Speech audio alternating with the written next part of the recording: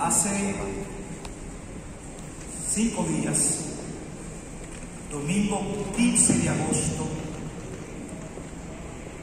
que la conferencia del episcopado dominicano declaró el año jubilar Altagracia.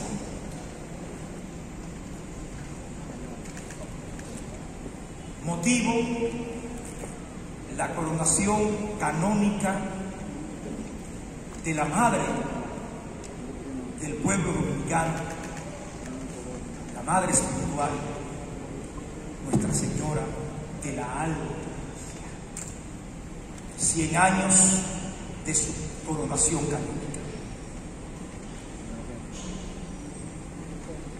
Que se interprete como cada quien quiera interpretar. Yo podría hacerlo desde el conocimiento misterioso de la fe. Pero precisamente el domingo 15, cuando nuestra iglesia católica declaraba el jubileo altagraciano por la coronación canónica de Nuestra Señora de la Alta Gracia, se esperaba el paso de la tormenta por, por la isla.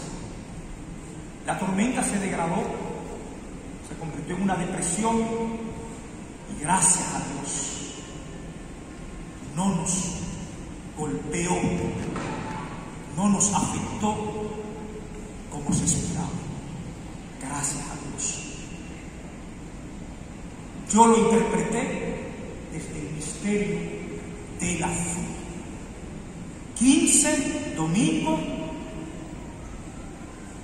inicio del año jubilar, que termina en agosto del próximo año, lunes 16, la tormenta central. La República Dominicana nació bajo el signo de la divinidad. La Trinitaria en honor a la Trinidad. La cruz en nuestra bandera nacional. La consigna de la dominicanidad, Dios, y Libertad, y el libro de los evangelios. Yo quiero que Monseñor, en la petición humilde, como parte de la conferencia del episcopado dominicano, se haga portavoz del interés de la Comisión Permanente de Efemérides Patrias de colaborar en toda esta celebración, en todo este jubileo, porque Nuestra Señora de la Altagracia es sin lugar a dudas parte del cuerpo espiritual de la comunidad.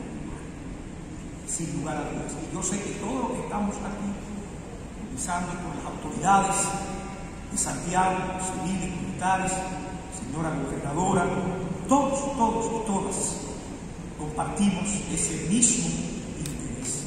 Y desde luego, Señor, totalmente identificado con sus palabras que recogen el espíritu de lo que hoy hemos conmemorado y hemos celebrado.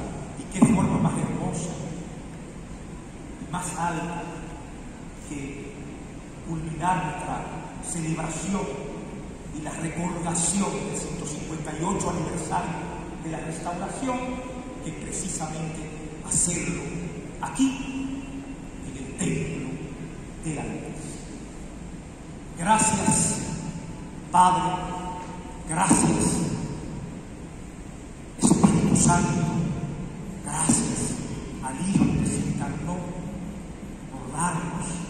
la posibilidad de la redención, volviendo a nacer en el Espíritu, restaurarnos en el Espíritu.